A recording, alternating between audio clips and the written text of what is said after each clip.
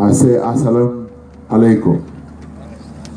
In the name of Allah, the beneficent, the merciful, I would like to wish all Muslims in our country a blessed Eid al-Fitr. They honored me and gave me a little moment to address them. I also asked for the Muslim community to pray for the ANC, particularly with regard to the coming policy conference, that they should pray that we should have great wisdom, we should come out of that conference with visionary policies.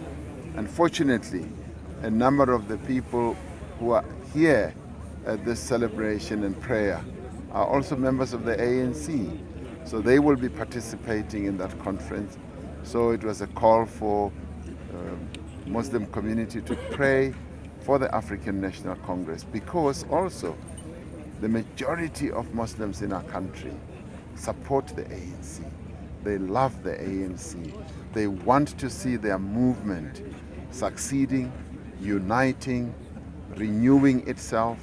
And so this was a great moment for me to call upon them to pray and to wish the ANC the greatest of luck as it go to a very important conference that is going to chart the future of our country.